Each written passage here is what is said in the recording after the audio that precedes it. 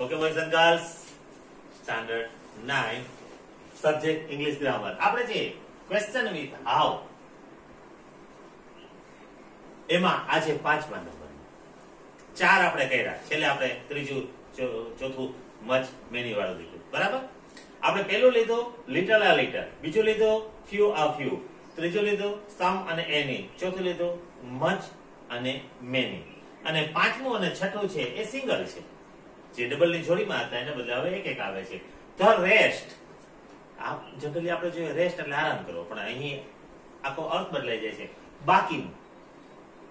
બચેલું છે ને કહે બચેલું. ઘણા કે બચેલું એટલે હું? મતલબ વધેલું. તમારી પાસે પાંચસો રૂપિયા હોય, એમાં સો રૂપિયા વાપરી નાખો. તો બૈચા કેટલા? વૈધા કેટલા? બાકીના કેટલા? બરાબર ને? તો એ અર્થમાં બચેલું, વધેલું. બરાબર? તો રિમેનિંગ પાર્ટ જેને કહેવાય. રિમેનિંગ જે વૈધો છે. કાઉન્ટેબલ એન્ડ અનકાઉન્ટેબલ બેને માટે વપરાય. ધ રેસ્ટ છે. અને ધ રેસ્ટનું તમને એક એક્ઝામ્પલ આપી દઉં. ભારતની એક ટીમ બનતી હોય. વન ડે ની ટીમ બને ટ્વેન્ટી ટ્વેન્ટી ની ટીમ બને, અને ટેસ્ટ મેચની ટીમ બને. એને નેશનલ પ્લેયર કહેવાય. રાષ્ટ્રીય ખેલાડી. પછી અમુક એવા હોય, જે રણજી ટ્રોફીમાં રમતા હોય, એ ઈરાની ટ્રોફીમાં રમતા હોય એ લોકો મેન ટીમમાં તો આવી શકતા હોય. પણ કોઈ ખેલાડી દાખલા તરીકે અત્યાર સુધી આપણે કેપ્ટન ધોની હતો. તો એ વિકેટ કીપર હતો. તો દિનેશ કાર્તિક છે, પાર્થિવ પટેલ છે, આ પણ ટીમમાં આવી શકે એવા હતા. પણ એ આવી આપણે એને લઈ ન શકીએ, કારણ કે ધોની તો ઓલરેડી છે ટીમમાં વિકેટ કીપર તરીકે. તો એને ધ રેસ્ટ કહેવાય. શું કહેવાય? એવા જે ખેલાડીઓ છે, એની એક ટીમ બને, એને ધ રેસ્ટ ઓફ ઇન્ડિયા નામ આપવામાં આવેલું છે. આપણી મુખ્ય ટીમ સિવાયની જે ટીમ છે, એને કહેવાય the rest of India cricket team તો હવે આપણે આના એક્ઝામ્પલ જોઈએ. હું લખું છું બોર્ડ ઉપર, જોતા જાજો. I spent 200 rupees. મેં બસો રૂપિયા વાપર્યા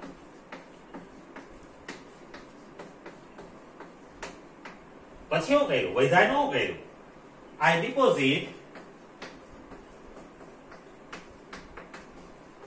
I deposited the rest with the bank બાકીના મેં બેંકમાં જમા કરાવ્યા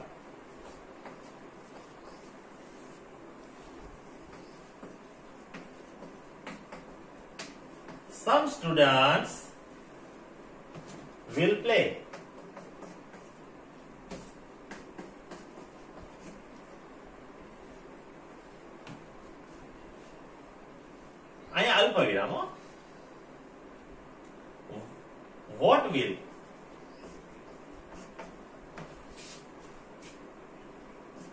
the rest do જો બે વાક્ય I spent spent 200 rupees મેં બસો રૂપિયા વાપર્યા પછી ખિસ્સામાં કંઈક બચ્યા હતા I deposited એટલે મેં ક્યાં મૂકી દીધા deposited the rest with the bank બાકીના જે વધ્યા હતા એ બેંકમાં જમા કરાવી દીધા બીજું વાક્ય જુઓ some students will play કેટલાક વિદ્યાર્થીઓ રમશે. What will the rest do હાલો, કેટલાક રમશે તો બાકીના શું કરશે? પ્રશ્ન ચિહ્ન વોટ ધ રેસ્ટ ડુ બાકીના. હાલો પચાસ ને આપણે લઈ ગયા. ચાલીસ રમવાના દસ શું કરશે? એને કંઈક રમાડવા જોઈએ ને, કંઈક બેહાડવા જોઈએ ને. બરાબર ને? હળિયાપટ્ટી કરે તો ન હાલે. બરાબર? આપણે પાંચમા નંબરનું ધ રેસ્ટ કર્યું. હવે છઠ્ઠા નંબરનું કરશું આપણે. ઓકે બોયઝ એન્ડ ગર્લ્સ છઠ્ઠા નંબર. નન અર્થ એનો એક પણ નહીં. નોટ વન કે નોટ એની બરાબર? યાદ રાખો. નન પછી ઓફ આવે છે નન વાળી પછી ખાલી જગ્યા આપી તો આખું વિચારે ઓફ મૂકી જ દેવાનું હોય. None of none of your business આપણે બોલીએ ને ઘણી વખત, ભાઈ, આ તારું કામ નથી. નન ઓફ યોર બિઝનેસ વાક્ય લખીએ આપણે.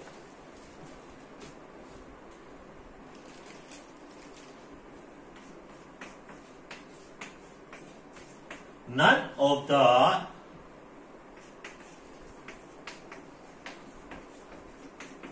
students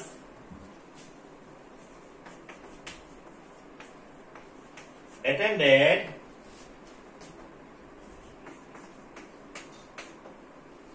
corona ચાલુ છે અત્યારે. બરાબર ને? સરકારે મનાઈ કરી છે. વિદ્યાર્થીઓએ શાળાએ આવવાનું નથી. બરાબર ને? સ્કૂલને સૂચના આપી દીધી કે ભાઈ કોઈ છોકરાઓને, કોઈ વિદ્યાર્થીને બોલાવવા નથી. વાક્ય લખ્યું આપણે નન ઓફ ધ સ્ટુડન્ટ્સ એક પણ વિદ્યાર્થી એટેન્ડન્ટ ધ સ્કૂલ શાળાએ આવતો હાજર નથી. બરાબર ને? એટેન્ડ કરતો નથી. બરાબર? તો નન ઓફ મેં કીધું ને કે નન પછી ઓફ મૂકવાનું છે.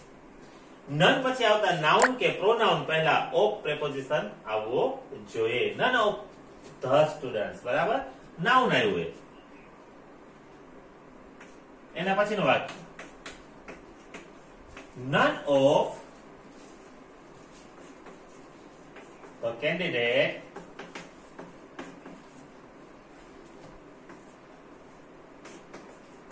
turned up.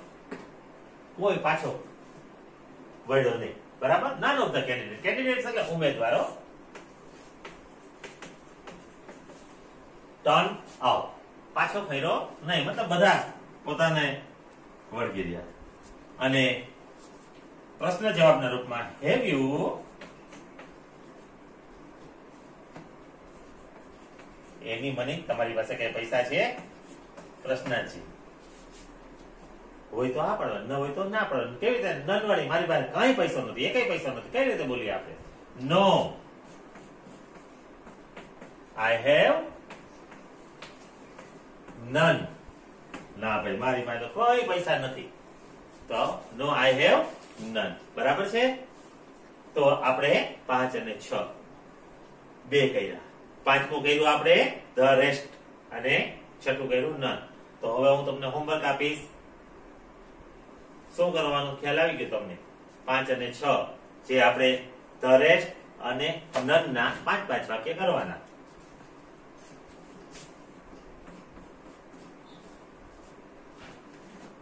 the અને નન ના પાંચ પાંચ વાક્યો તમારી રીતે બનાવીને લખો. નવા બનાવજો. બરાબર? મેં બબે તંત્ર તો દરેકના વાક્ય લખેલા જ છે. તો આ રીતે આજનો આ તમારો હોમવર્ક છે. Okay boys and girls have a good day